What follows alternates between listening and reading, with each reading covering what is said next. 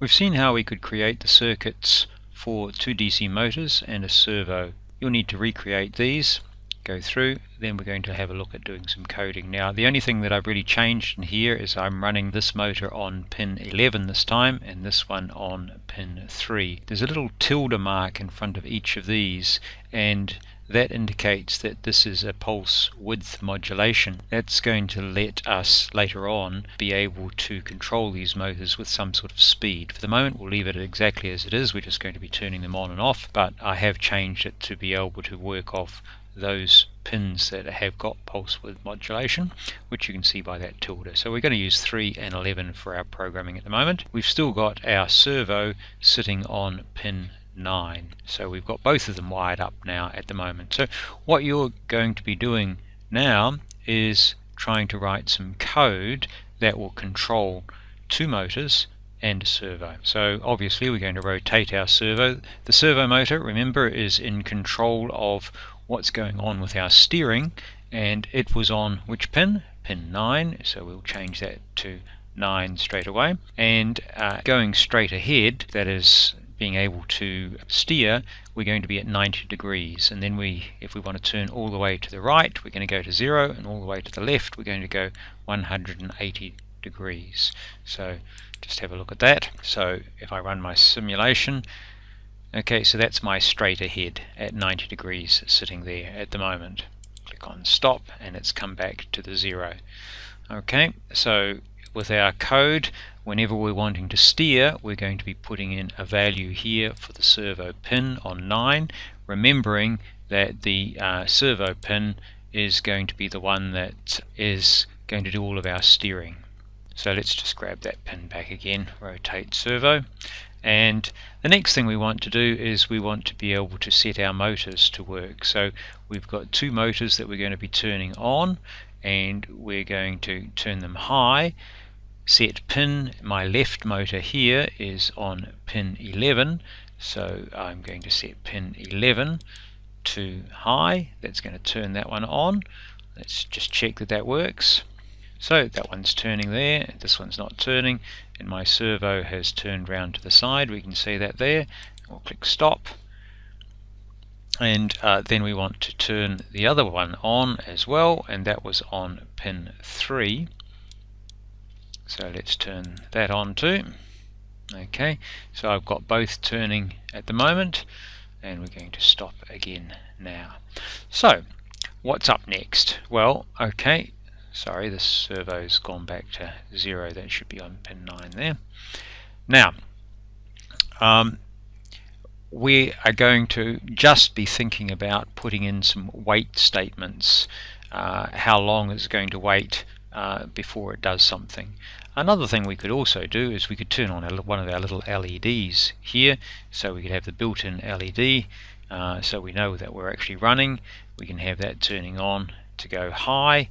Let's turn all of those on now. There we go, we've got the LED on, the servo's turned round, we're running our different speed there. Let's come and have a look and see what's happening. Okay, and the stop. Okay,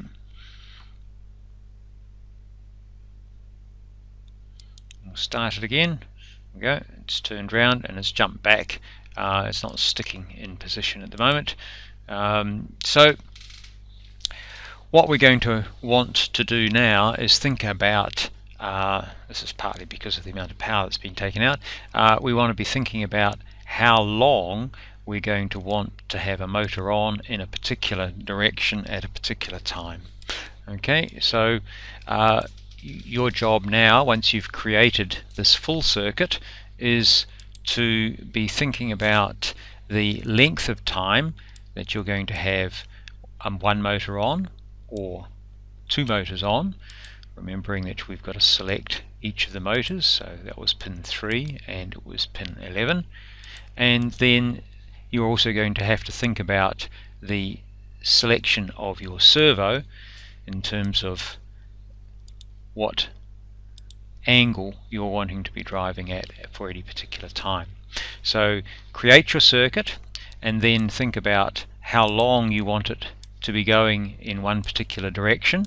so uh, we're in seconds here so I'm going to change that to maybe uh, well 60 seconds. So it's running for for one minute in that direction.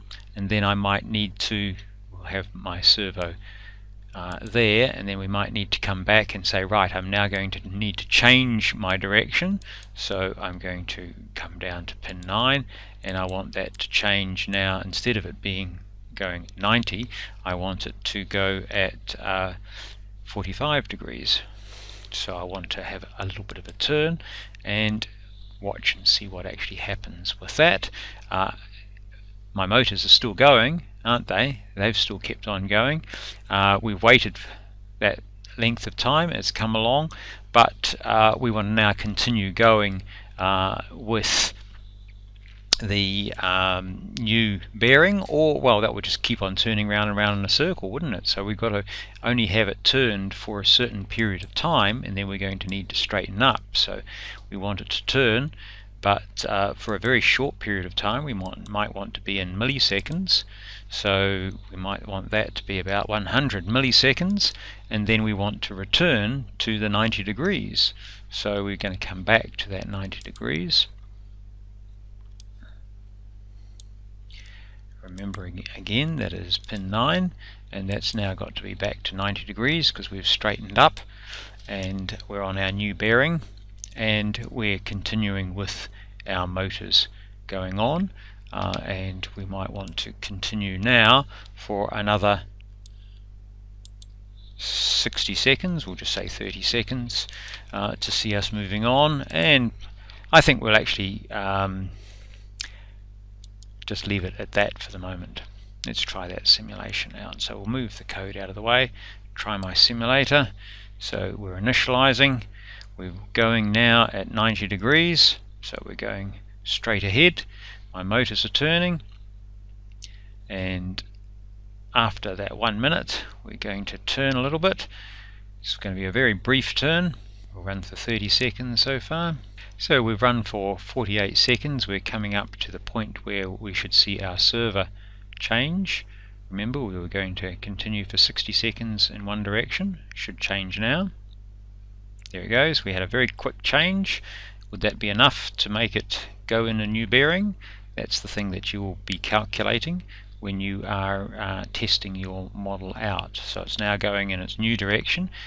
Remember the uh, rudder or the steering wheel or whatever it is has been turned for a short period of time. You'll have to decide for how long you would need to have it going in that direction before it straightens up.